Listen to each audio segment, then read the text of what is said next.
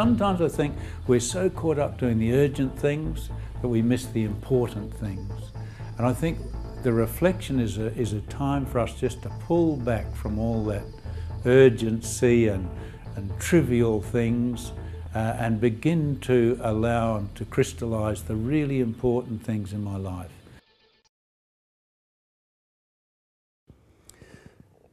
People should do the reflection, I think, because they're thirsty. And the question is, how are they thirsty and how will that thirst be quenched? I'm talking about a deep thirst of the heart. And the only well at which that thirst will be quenched is the well which is Jesus. So this reflection is a way of leading people to the well which he is. I think Lent's a time for us to, to really learn what it means to be disciples, to be people who think with the mind of Jesus, who act with the the love of Jesus, who feel with the heart of Jesus.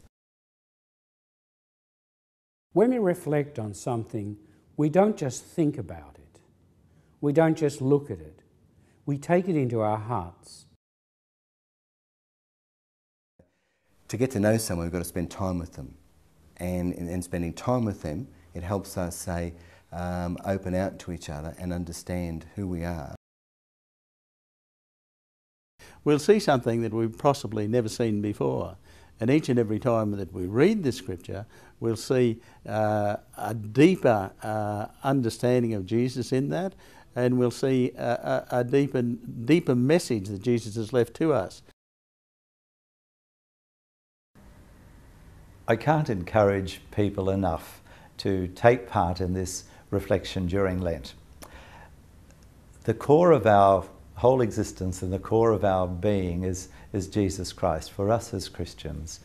And recently, even as bishops, we've been looking at how can we look at our church in Australia and how can we uh, look at Australia and how can we renew our, our area, our, our, our country.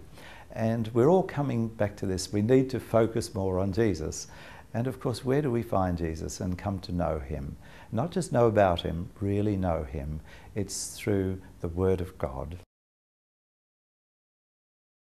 These reflections give us an opportunity of gathering together with others from our community, reflecting together, praying for an openness of heart to hear the call of Christ and the strength of the Holy Spirit to make us generously respond. Well, I think, that, I think at the heart of the Christian life is the call to allow the Spirit of God to form in us the mind and heart of Jesus.